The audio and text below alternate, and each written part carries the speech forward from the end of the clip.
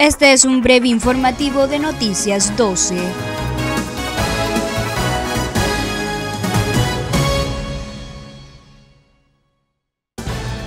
Alto funcionario estadounidense intentó reunirse con el presidente Ortega en Nicaragua, revela el mandatario.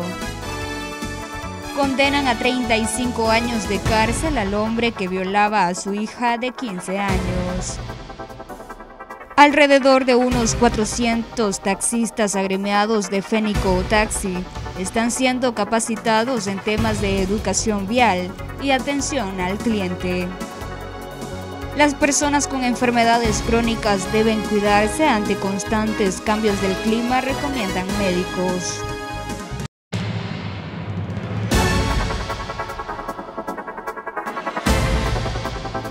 Espere la ampliación de estas y otras informaciones a las 6 de la tarde.